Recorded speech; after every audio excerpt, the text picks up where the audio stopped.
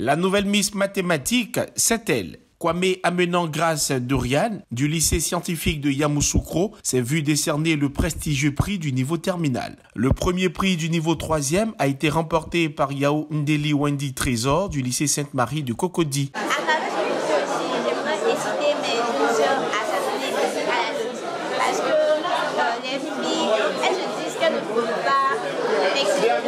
mais la,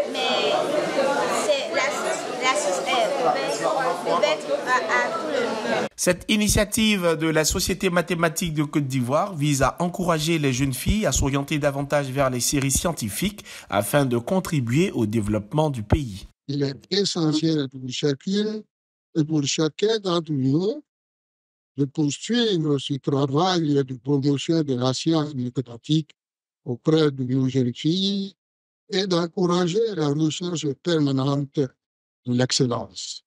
Vous avez fait, vous avez fait, vous avez fait la vie des félicitations pour le travail remarquable que vous avez accompli chacune à son niveau, avec sérieux et abnégation.